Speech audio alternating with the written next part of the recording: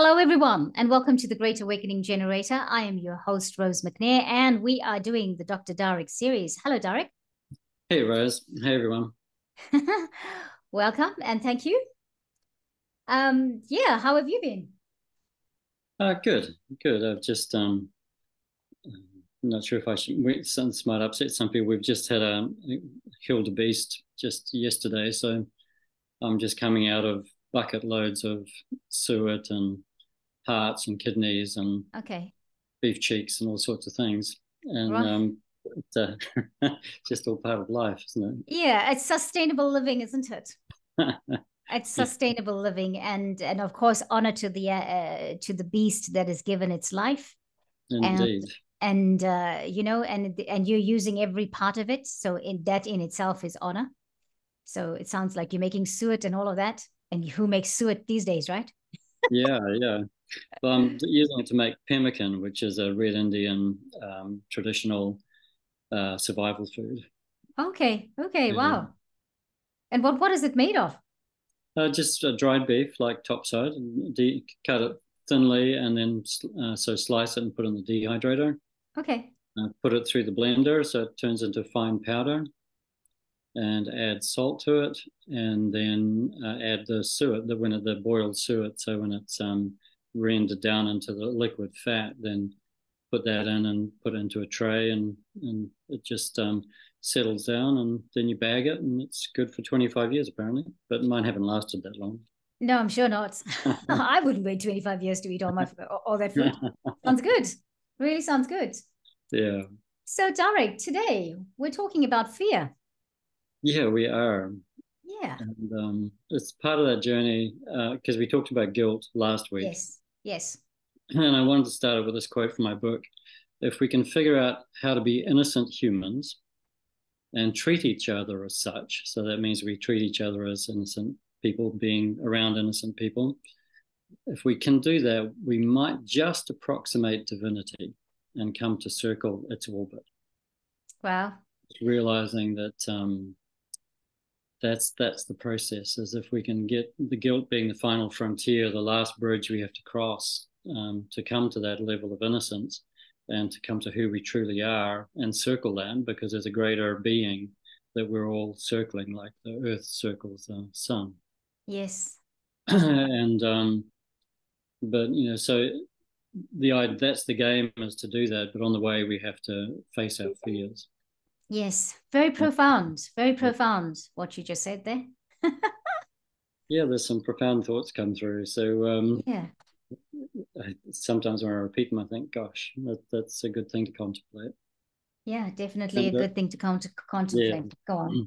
And I, I used to um, when I was thinking. Well, actually, when I was thinking of talking about this, I've been, you know, reading my notes and the book that I've written, uh, the chapter on fear, and it's it's almost like our personal fears over the little last few years have taken a back seat. It's like what, what's happening now is really major global fears.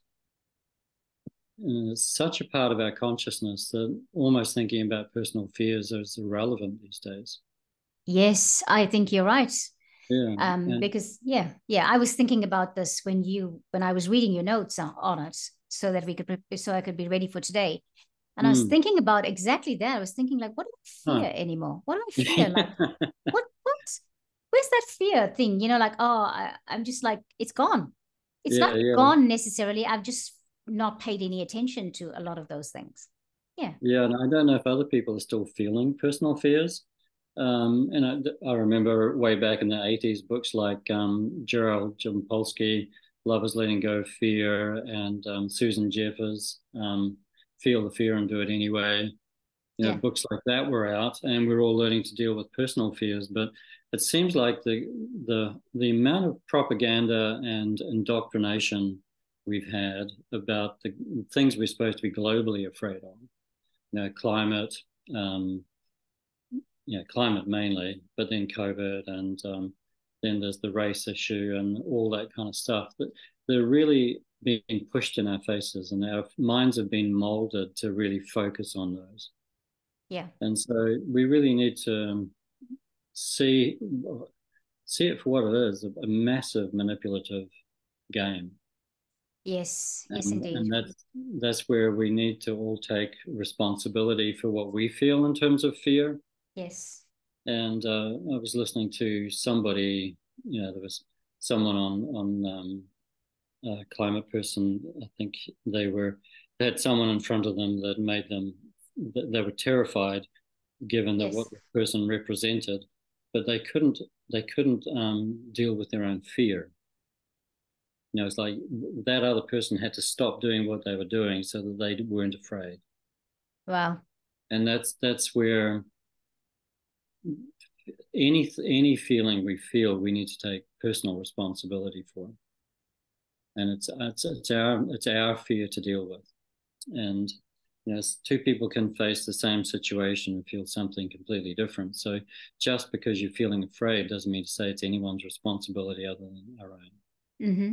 Exactly. Uh, and I just think it's such an important aspect to be talking about in current times, mm. given everything that is going on. And I don't want to, um, I want to let you carry on talking about what you want to tell us before I bring, uh, mm. I, I talk about current times. I'm going to bring that in the end. Yeah, yeah. So, uh, um, yeah, go on. So, I, I talk about the small m mind and the big M mind. Yes. And Explain so that small m and big M to us for our audience, please. Yeah. Well, the small m mind is our own personal, you know, me and my little body. this is this is what I'm shit scared about. Yeah. yeah, that's my personal fears, and um, and then there's the big M mind, which is um, that part of us that's connected to our divinity, and we can we can access both of those.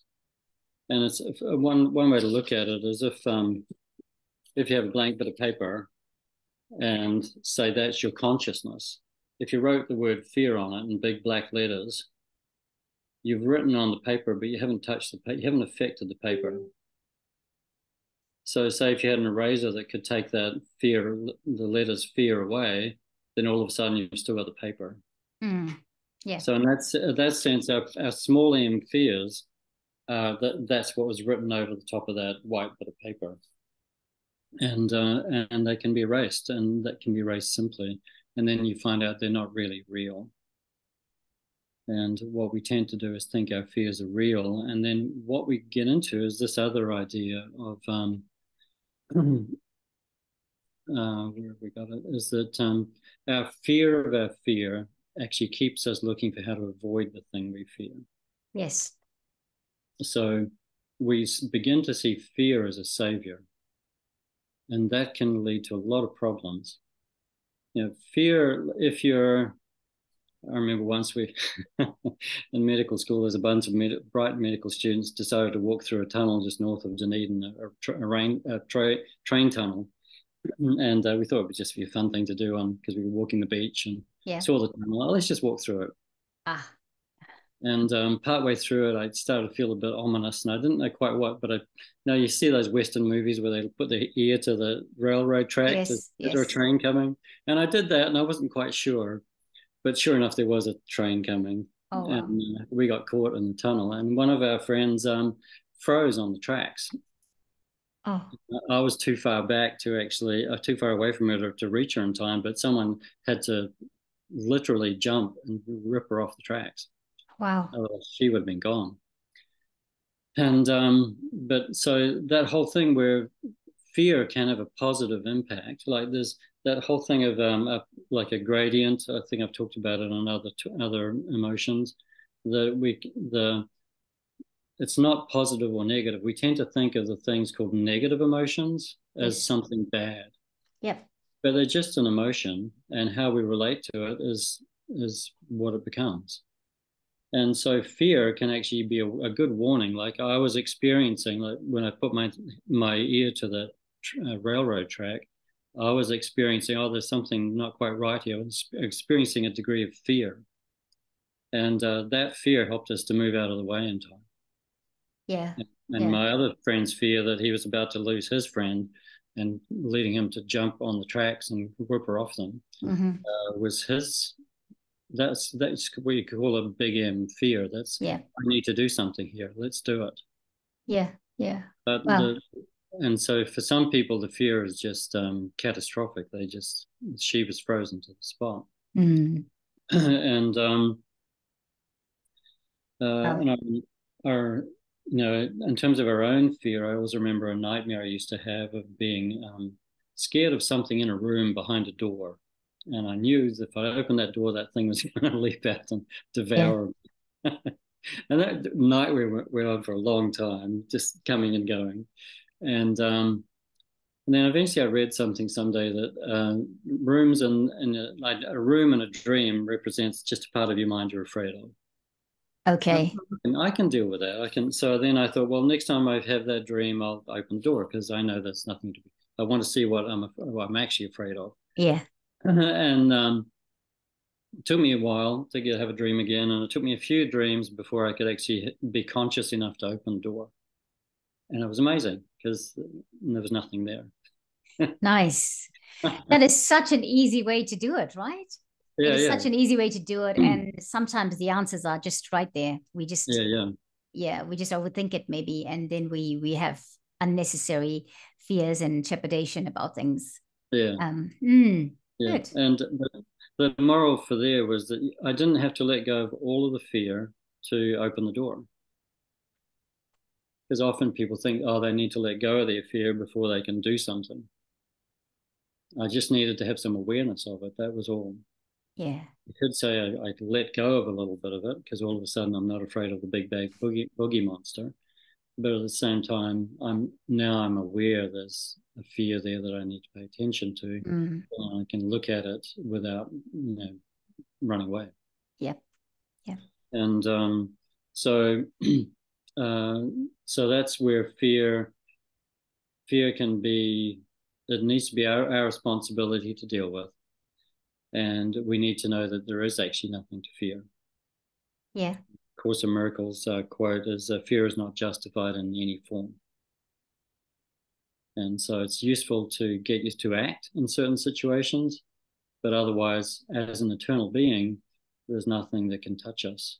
Yeah so, and it's about getting that perspective on it. That until you, until I get a sense that I'm an eternal being, then I can be scared of everything. And mm. a lot of what we are used in the moment that scares us is the whole thing around the fear of death. You know, fear of yeah. death, dying, and whether that's from being boiled to death on the planet because it's boiling now. It's not just warming. That's right. Yeah, yeah they're just having to they're just getting so rampant. They're having to ramp up the the propaganda to actually to capture us you know? It's like you know you got to get this guys. It's boiling. Yeah and, uh, yeah. it's the level of insanity is becoming so obvious that hopefully more and more people are getting it.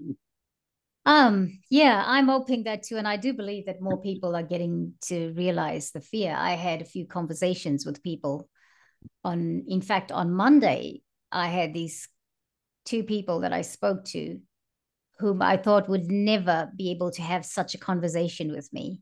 But mm. they were telling me stuff that's happening in the world that uh, that is not true and uh, and uh, what's going on with the governments and whatever. And i was like okay welcome to my world. That is great. That is great. So yeah so it's good. It's happening. I think it's happening yeah, and if we can pop it off that we all can see the emperor without any clothes on, then I think we have a chance. Yeah. And to do that before we get censored out of re- reality would be good. Yes, indeed. Um, but the way fear is being driven is that if you, you see it in the climate um, emergency idea, that we think because we're we need to be afraid of the climate, and that fear then becomes a savior because it's going to make us do things that we need to do yeah like like Greta um, I once heard Greta Greta Thunberg pronounce her own name and it was more like Greta Thunberg ah. so well, the G was a, like a Y hmm. so okay. it's just part of that Swedish, right?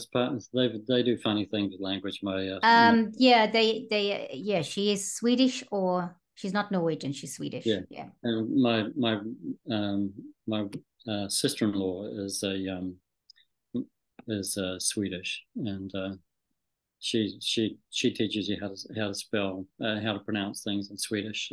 Okay, there's different I, other way that looks like.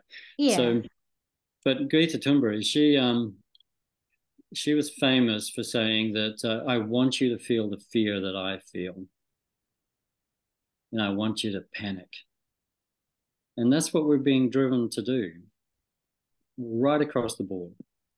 Mm. And um, there's another part we we're taught to be angry. Some some elements of our society are taught to be angry, and um, I'll cover that more next week. But um, that whole thing where we're taught to be afraid that we need to be afraid in order to act, because if we don't, if we're not afraid, we won't act, we won't save ourselves. Or we and won't pay attention, right? Or we won't pay attention to what they're saying if we're not afraid. Yeah, and then we won't. We'll, we'll all die. yeah, we'll all die. little boil and uh, but the idea that's the idea that they're trying to get us to, they're trying to manipulate fear in us to then you make make us the saviors and we get caught up in what i call the savior complex which is that we try we try to make everybody then do do the same thing. So that's how we drive the whole agenda for you know climate change. We we believe the lies and we actually are going to i thought about this just yesterday that um, the governments that got rid of slavery the western governments got rid of slavery are actually doing everything they can to bring slavery back where they yeah. will enslave the whole of humanity and yeah. that's where i say we actually have something bigger to fear this they want to make us afraid to use our fear and, and use up our basically it's almost like they're using up our fear energy so that's all we can be afraid of and then yes. and then part of that whole idea of fear being a savior where it actually will um, help you avoid try to make you avoid the thing you're afraid of is when you really start to think of the manipulation that's happening and the the whole control towards a one world government where they'll basically be digital slaves that's actually a bigger fear. And a lot of people aren't really willing to face that because because we're if we're afraid of fear it's okay to be afraid of things that we can see and think we can do something of or with yes yeah i can do something in climate you know i'm some some I have some megalomaniac idea about myself that I can actually stop the climate. that's that's really that's really you've lost humility at that point. If you, if you Definitely. and um, but we'd rather deal with that because that's an easier feel to deal fear to deal with than the fear that shit there are actually people out there that are out to get me and yes. they're doing a damn good job and they've been educating the public for decades and they have them eating out of their hands and the media is right in the ball game and the governments are right in the ball game and you know there's no real difference in the parties and they're all really talking the, the UNWEF agenda we do have I don't know if you saw it, but the United Nations Association of New Zealand, headed up by um, Dr. Sir Ashley Bloomfield, was doing a meeting in Wellington and at Parliament um, in September. Yes. You know, so we can we can no longer say that the UN WEF partnership to to accelerate the 2030 agenda, where we basically cripple our financial lives and our economic lives and uh, even what we eat will change, given to what these un- unelected, you know, um, what do you call them? Some people call them predators. The unelected predators um, using their big companies, and then they come into this public-private partnership, whereas the public puts up the money and they're allowed to express their ideas. We're not allowed to express ours, and they use the use our money to basically fool us, propagandize us, indoctrinate us, and enslave us. Yes.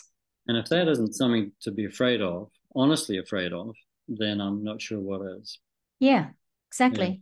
Yeah. And um, and at the same time, we can as much as we can take responsibility for doing what we think we can do about it we can't take full responsibility in the sense of um, this is something I've, I've, failed in for a past few years is thinking you know I had to I always had to do more and never being happy with what I did and so realizing that I can only do what I'm given to do. That's right. With yep. that deep listening. Yeah. And um, and then apart from that, it's life's about enjoying.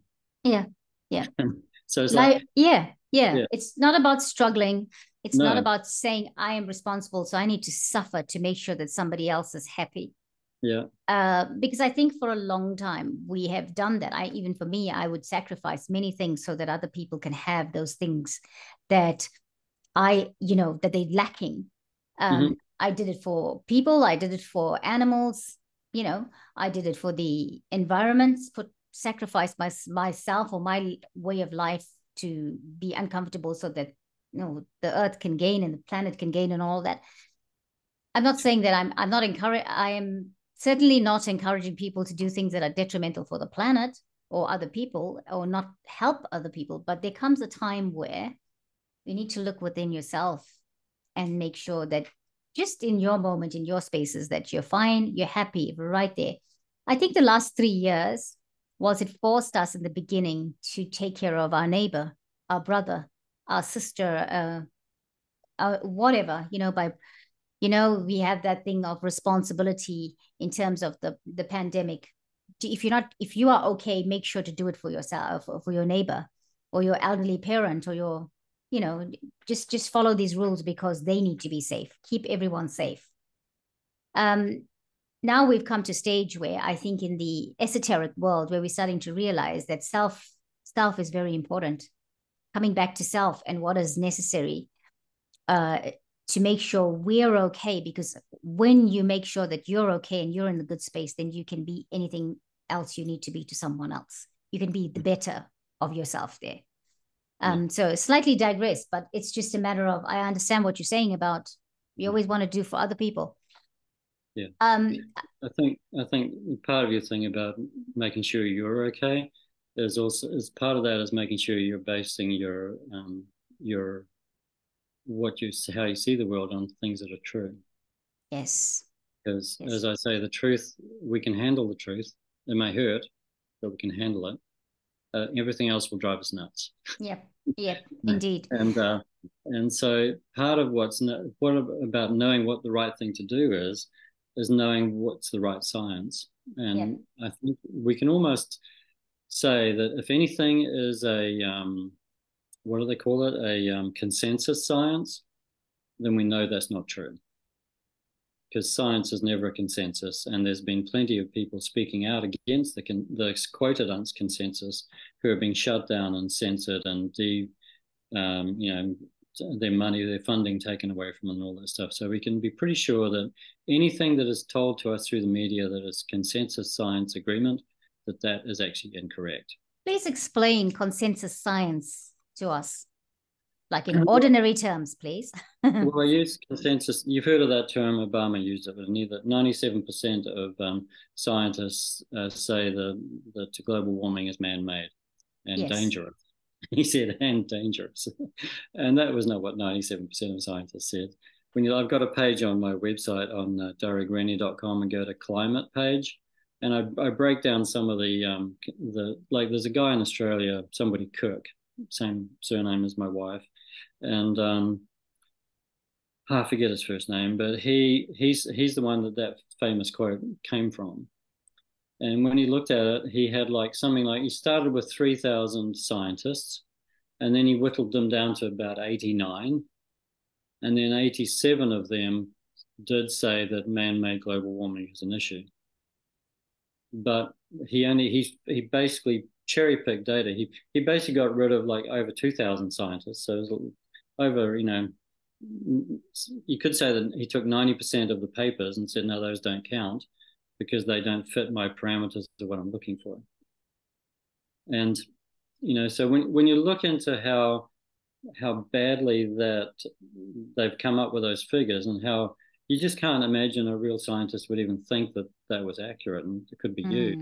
Yeah. But they use it to say that because most of the scientists agree, then um, but most of the scientists agree that CO2 does cause does have an effect on global warming. Yes, it does. That's just that's a scientific fact. Whether it has an, a, a meaningful impact is the one they argue about. but then they pick out the ones that only agree with the yes, it's man-made and dangerous. Um, and you know, I always like them to go back to like Galileo and Copernicus. You know, the consensus science of the time was that the sun moved around the Earth. So consensus science is meaningless. It's just a, and the, the, the science that changes things goes against the consensus. And so the science is about finding out truth and but we are we are we've had science be misused the you there's a the forget her name but she was with the, the united nations she said we own the science meaning yes. and we want to tell people what it is yep and um meaning that they've funded the kind of science they want to prove what they need to prove in order to have you afraid the way they want you to be afraid to take the actions they want you to take and it's all a bunch of BS just designed to control and enslave. Yes, and, that's um, true. And um, so, if the, the the more we can see that that's the thing we're dealing with, the more we can the more we can face our fears, the more we can actually give truth a chance to surface. Yes. You know, as long as long as you're lost in the oh my god, the planet's boiling, you'll never be able to look at the things that say, oh, "Excuse me, um, no, knock knock, anyone yeah. home?" Uh, have you read this? Have you seen that? It's like, have you heard that guy saying this? It's like there's so many, so much information out there that if you really could let go of the fear enough to look at it and pay attention to it, you'd realize, oh, I actually don't need to be afraid of that at all. No. So and then you go, oh dear, what I do need to be afraid of is this, you know, and this yeah. whole whole move to control humanity. Yes. Hard to imagine that that's happening. But that's well, then, I can't. just to finish that, that, that thought, and then see, then if you don't appreciate your eternality, then you head into another. You just drop into another bucket of fears that are endless. Mm. Oh, they're mm. really going to get me. you know? well, ultimately, yeah. we have to we have to take our consciousness away from our bodies and our lives and put it back to where it belongs, which is with the divinity within. There's mm-hmm. that part of us we need to hang on to and at that point, there's no reason to fear. Yes. There's no justification to fear. And but it, it, it's driving us all to that point. My wife's talking about this this uh, last week. This the situation is driving us all to that point where we choose who we are, and start yes. to live from that point of view. So live from that fearless state of being an eternal being, no yes. matter what goes on in the world or doesn't go on in the world then who are we showing up as at the moment? That's yes. Yes, that is the key. And that is very much what the journey is about, I'm finding at this point. Yeah. I just want to just uh, this this is just coming back to Greta. I call her Greta Thunberg, but yep. you've called her her right her name. Yeah. now, right, I really don't know. Um, I I I you know when she had done that first speech at one of the UN meetings at uh, a UN meeting or something, I know that the baby boomers were very upset with her. Anybody who um, had watched it had got the baby, you know, the the definitely her speech had got the baby boomers mm. riled up, and um, you know, anybody that I knew that had watched it and was in that age category were like, "How dare she speak to us like that? We've been here longer and we have done this." And so, so you know, the um, thing about what she was saying was taken in an offensive way because but for different reasons. Nothing to do with she was trying to put fear into us. It was more like, how did she talk talk to us like that? She's only 16 or whatever age she was at the time, you know. So it was it was pretty interesting to see that. But she was quite out there when in her speeches, and I think she has traveled many countries to do these speeches to speak to people. I watched a documentary on on her her life, a little bit of what had happened to her post that speech, and um, the documentary showed that she was they her parents feared for her life because people were up against her for the fact that she was talking about climate, what was happening to the planet, and and how it was not going to be here for future generations and, th- and things like that. But now that I know what I know, mm. I I really have to question where she comes from with that information and so much fear and so much grabbing the attention and and and it it stops me. I don't know enough about it, but it stops me to think, what is your platform? What is the platform you're coming from? Why are you doing this? You know, do you really feel like that? Have you been set up to do that? Um, I don't know because I mm. I was actually concerned for her when I watched the documentary. I was concerned for her life because she's so young and she felt and, and at that time I was ignorant and um, I did think the planet I, I, didn't think about it too much, but I thought, well, if people are saying the planet's in trouble, they must be, it must be true, um, you know, because that's what where I was, right, at the time.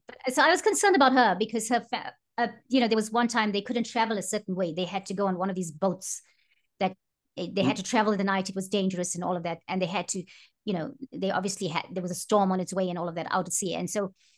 Yeah, her father, I think, was traveling around the world with her for her to do these com- these uh, to appear and speak and influence communities and societies in terms of the planet being in trouble.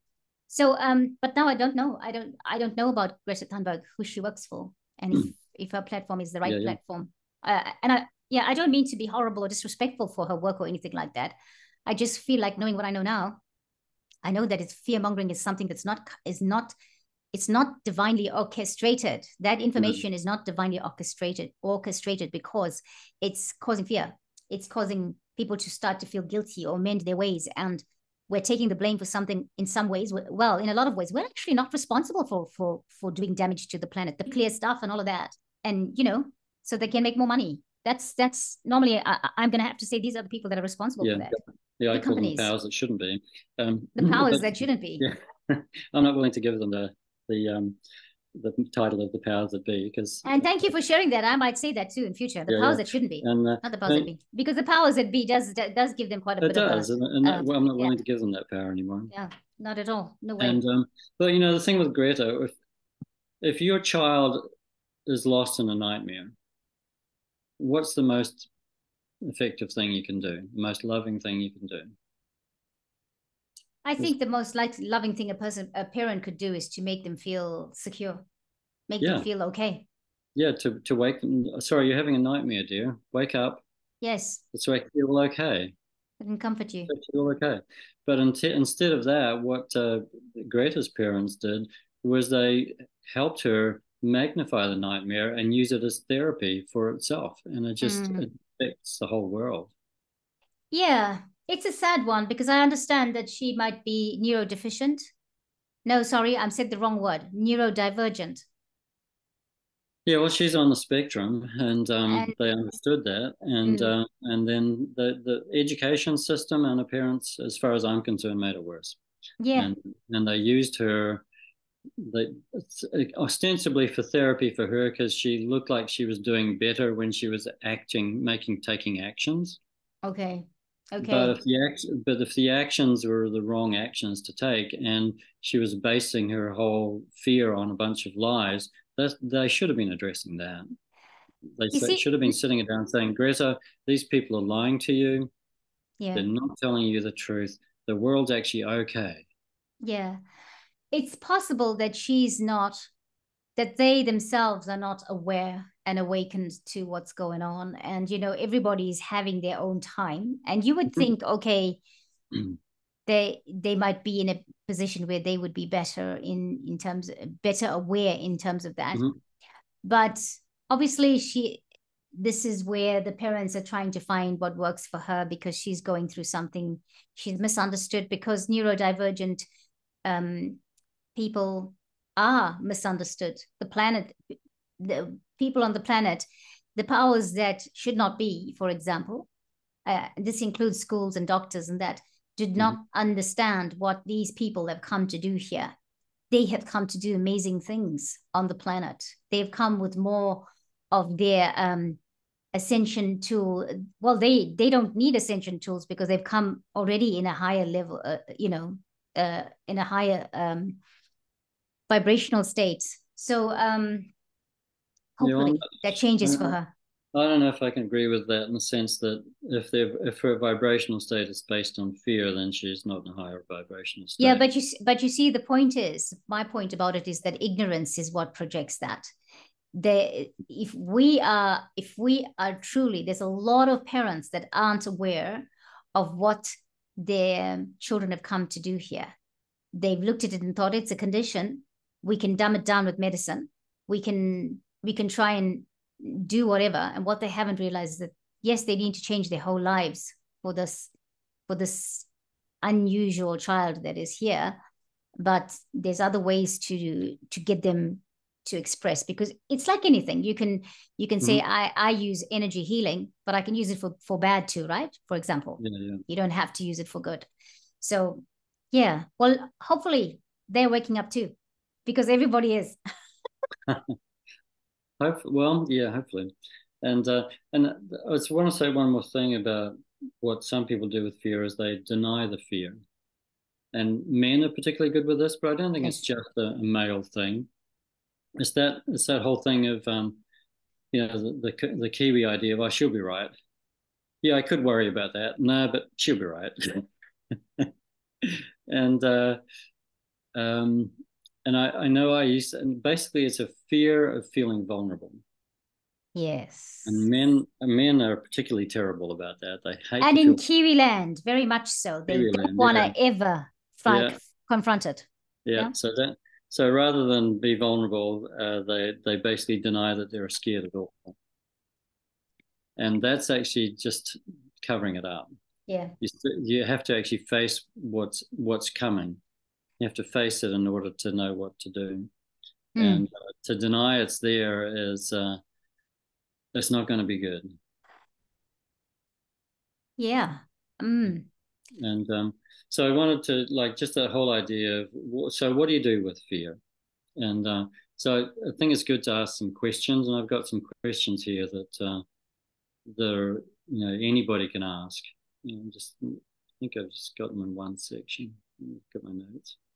Um, now, when in our lives have we found we needed to listen to being afraid? So we need to actually honor fear, that feeling of fear, and there's nothing wrong with it yes, it you can can make you feel vulnerable, and it's you know we need to know it's safe to feel vulnerable.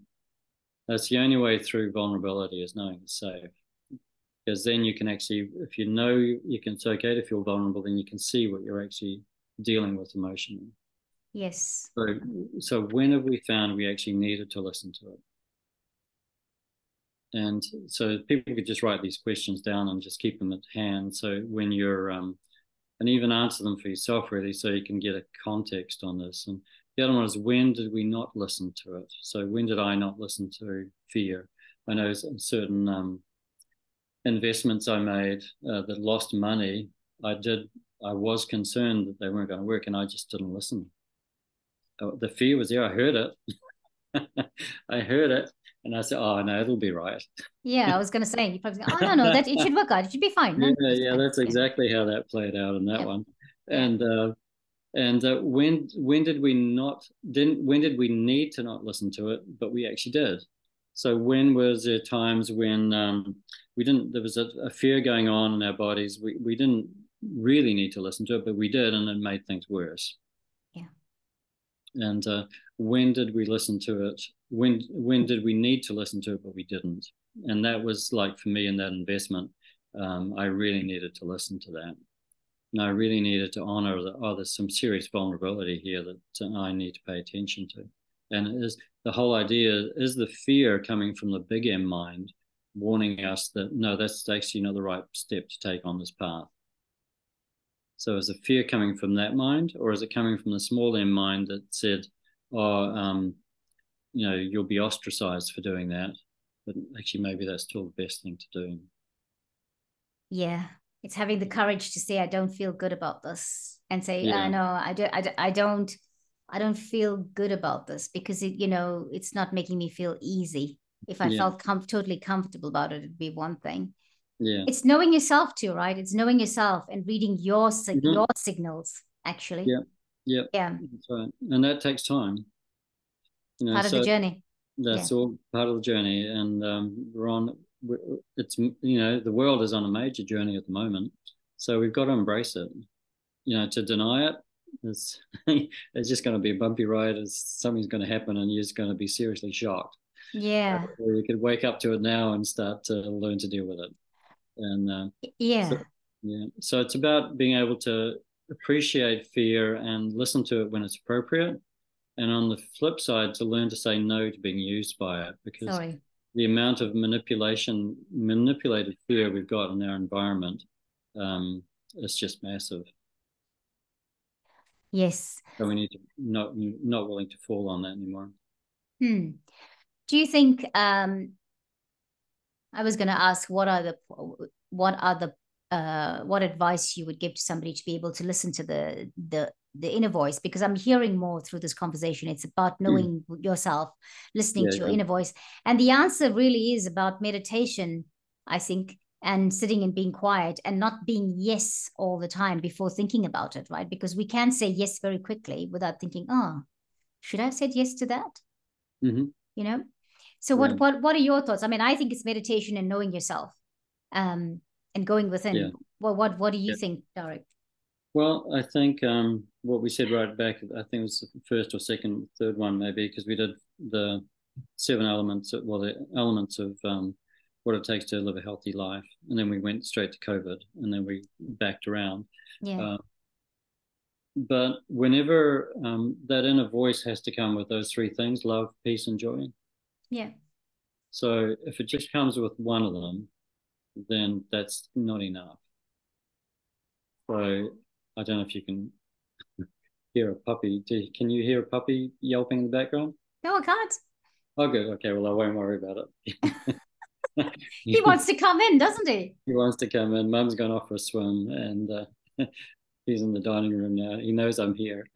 yeah, he can hear you speaking. You're very welcome to get him in if you want to. Um, well, let me finish this thought first. Oh no, there he goes again. Come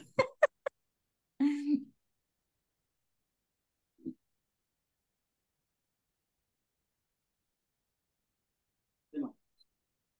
Come.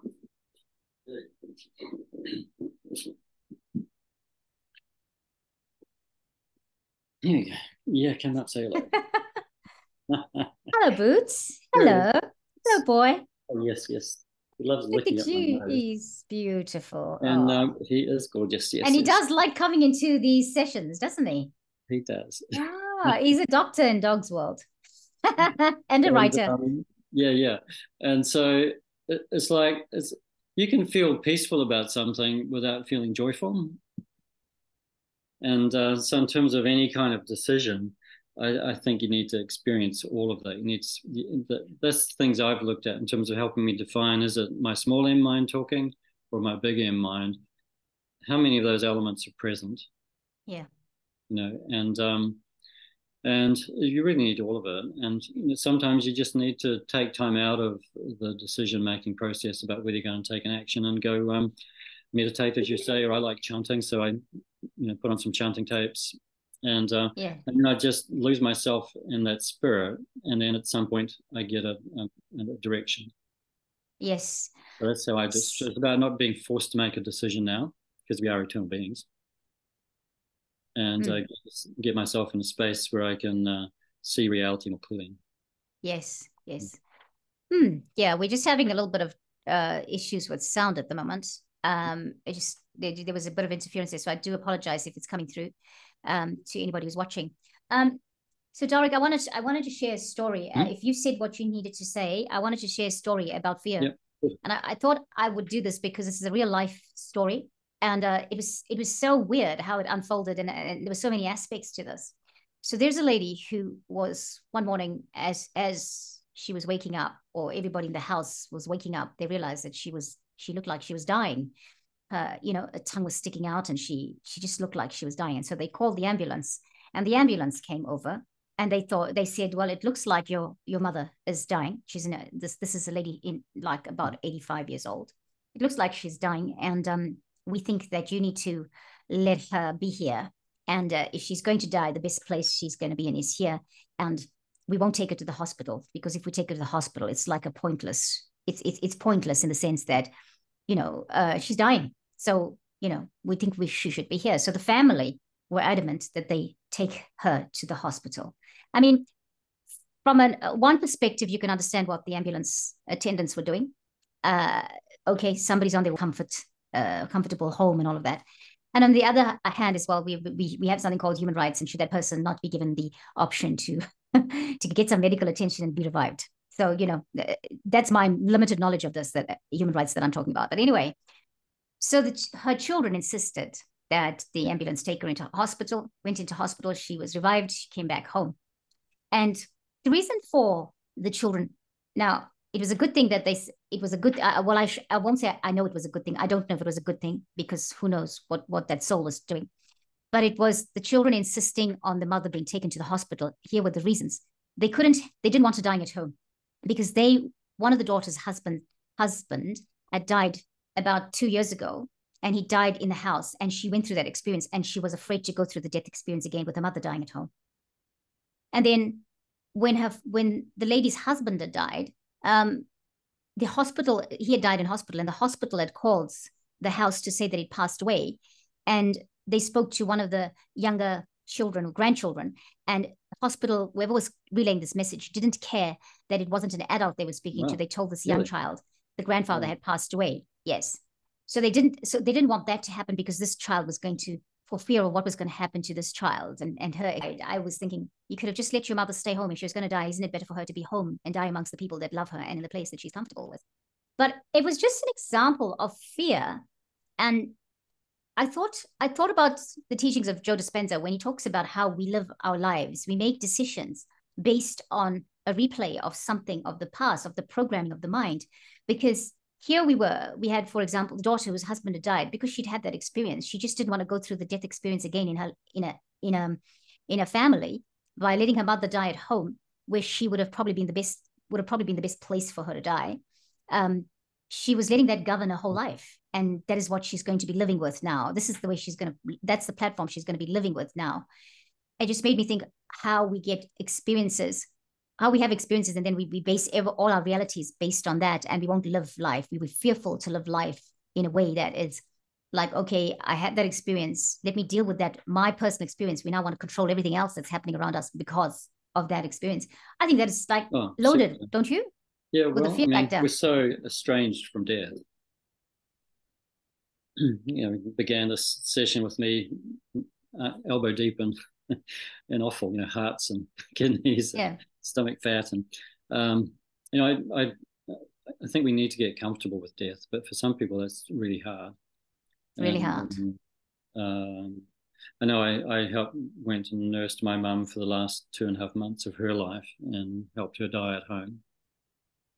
And uh, that was just a blessing for both of Absolutely. us. Yeah. Absolutely. And yeah. so but we each have an individual relationship to that and uh, but being afraid of death is it's just something we all need to deal with we all need to deal with it's never going to go away and also once you've dealt with death and i don't say I, I say this i say this without being i'm not the expert on it or anything like that i've experienced you know i've experienced a person passing away uh, my, a parent passing away i've experienced a husband passing away and we will and and then i look back at it and i think wow how did this all happen? And I think, well, I've made my peace with it. I've come to realize that certain things had to happen to be mm-hmm. for me to be where I'm at, you know.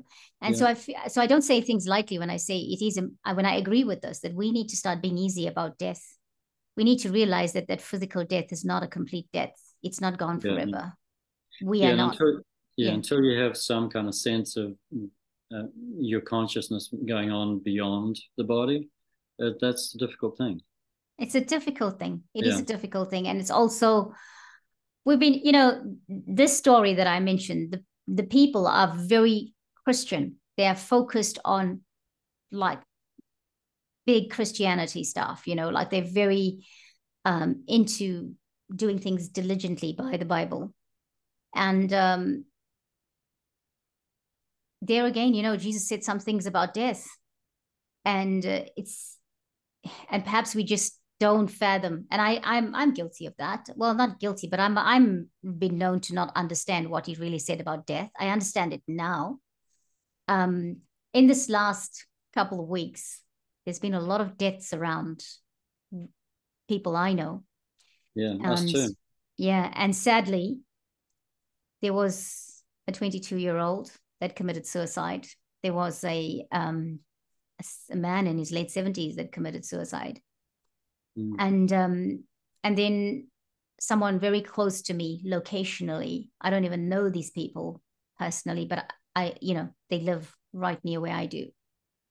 And there was a death in the family, and a 53 year old daughter passed away, and there were the parents now, late 80s, having to bury their daughter.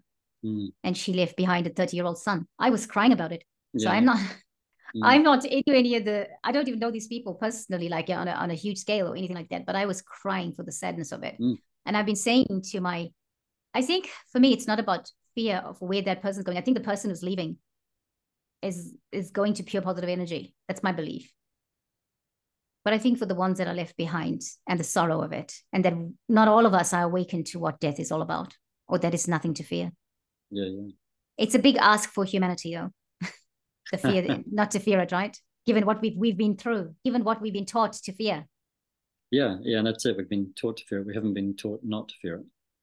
Exactly. And that, that's where we need to take more responsibility for those feelings of fear and uh, yeah. figure out which ones we need to follow through on and which ones we need to um, look in the eye and say, sorry, I'm not going to do that. Yeah, exactly. And I think with current times, there's so much that's coming out. You know, the the the thing is just it's just important for people to to realize that desperate times are calling for desperate measures when it comes to the powers that should not be. Mhm. So so basically that's it. The next one, the next thing that's coming up after global warming is going to be the alien invasion. I don't know how they're going how they're going to pull that one off. I mean, and it's it's bizarre. I've already seen something today that talked about oh, um, we we are we are likely to be under attack from uh, from you know from aliens, and it's like, but that's actually not going to happen.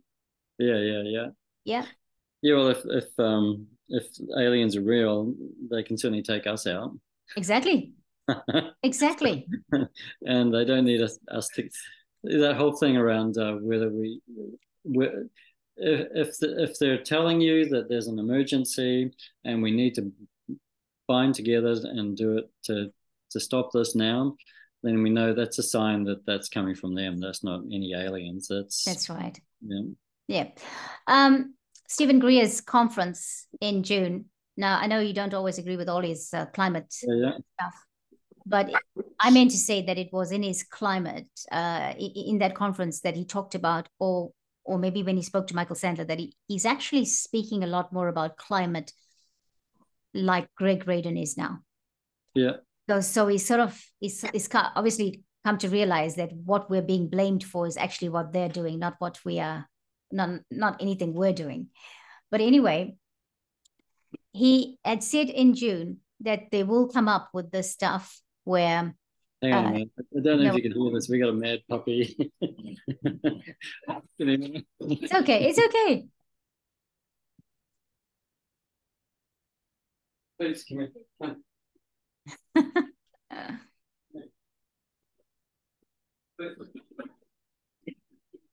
Thank you, everyone. You know, this is what happens, right? And that's our culture, our Zoom culture. It's great to have the pets in all the videos, though. That's what I think. Yeah, absolutely love it. And anyway, Boots is so cute. Why wouldn't we want to have him here in the videos? No, I'm just going to try to ignore him. He's just running around like a mad rabbit. Is, is, is he having, is he doing his zoomies then? He is, yeah. And Sasha's trying to, to uh, try to control him. He knows. So, so how old is Boots now? uh, he's just over a year. Um, So still very puppy, isn't he? he is, yeah, Oh, he likes the attention, right? Yeah, yeah. He's got, he's got. Sasha's trying to lead him out. Oh, that's okay. That's all right. Mhm. I could hear um, something going on in the But you were saying about Steven Greer Yeah. and about this upcoming thing he's talking about. Yeah, so he he has already warned at that conference that just be aware that there's going to be some big scare that's they're going to make an attempt to tell us that we're under you know we are being invaded Yeah, we are yeah. being under attack by the galactic community. And uh, so this is going to be this big attempt to all bind us together again bond us together and bind us together as if we think oh no no we need to stand up now and fight. But you know we many of us have already had connections with our galactic family our star seed families. We already have we already know about them being out there orbiting and watching us and looking out for us and and and, and rooting for us to awaken to the realities that are going on around us Mhm. and not buy into the lies and not be fearful so they are here for higher purpose so yeah yeah. Yeah. So yeah, and I I think someone said a couple of weeks ago the U.S. government announced that there are aliens on Earth. But well, okay, all right, let's well, move on then. Actually, came out in the news. How about that? Yeah, and and I understand. I was listening to Michael Sandler yesterday because Michael Sandler did a podcast about two days ago where he was actually talking about the congressional hearings. So there's mm-hmm. congressional something called the congressional hearings or something happening in the United States where uh, military personnel there are two or three military personnel that are giving testimony about stuff concerning um, UFOs and um, uh, well, you know, we say UFOs here. I do not like that word. I do not like UFOs because mm. I think it's a, it's also a word that is meant to frighten us uh, and make us feel, oh, that's alien. That's to be scared of. And um, but anyway, the the congressional hearings, there are these top ranking officers that are talking about alien abduction, what has been going on in the background, what kind of projects are happening, where here on earth where the, the the powers that should not be are actually and they talked a lot about the the um the shadow governments being involved in things where they're bringing down alien aircrafts and stuff like that. So this is what's going on. I, I, did you know this this was happening in the united states? I yeah, I knew that. Basically this, you know, they they tried to keep the um, I think they're calling them UAPs now, um, un, unidentified aerial phenomenon, and um, that it was it was always a hush hush. It was just a just all a you know just a conspiracy theory, and now it's coming out of the realms of conspiracy theories. Oh no, we do have these. Remember they released those photos or those aerial shots of um, yep. uh, you know these things that moved around like crazy in front of military aircraft and uh, so they they've been releasing that and they're drip feeding us information, um, and you've got to think about what are they doing that for, and if they ever do pull something and we get told we need to be afraid of this, then we need to pay attention. That's not anything to be afraid of. Exactly. Yeah. Um, when I watched the conference, I only watched one day's worth of conference, although Steven Greer had had three. I I couldn't get I couldn't get the time to watch the others because mm-hmm. they were like pretty long. Yeah, yeah. Um, they said how you identify what is what is a, a like you know an, a, a, galactic aircraft. I'm calling it galactic aircraft. They would probably say alien mm-hmm. aircraft. Mm-hmm. Galactic aircraft as to one that was created on Earth. The ones that are created on Earth have got aerials. They, they've got antenna. Mm-hmm. They've got some things that are, are different the ones that come from the galactic community do not have those things because they don't need to they are so advanced. And um you know just just be aware that this is this is a possibility that could happen. And also i mean when have they not disappointed us? When i think about it when have they not disappointed us? The only thing that they that is disappointing is that they do it first and then they tell us later um, and then they act like it's only happening now when it's not. It's been happening mm-hmm. for a long time, you know, like this thing about geoengineering and uh, oh, we're gonna, you know, this thing about uh, blocking, uh, deflecting the sun's rays. I mean, I think they've already been doing it. I don't. I think it's just a document that was released recently to say that they're going to do that, but they've already been doing it. So I think we need to be just vigilant and keep ourselves in a good space to say, I'm not going to fear things. I'm going to find out what I can do to keep myself safe, to keep myself and and the best way to do the best empowering you can ever do for yourself is to do the meditations to get within yourself and understand that you have who you are. Get to know who you are, what you come, what your DNA has, any person, and know that the reason we are being dumbed down like that and the reason they're trying their best to control us is because of how unique we are, how empowering and empowered we are. We ourselves don't know that. That's uh, amnesia. yes. yes. Okay. So, Darag, anything else before we go? Uh, just this uh, little poem by, I think it's a lady, Rainer Maria Rilke. She said, Let everything happen to you.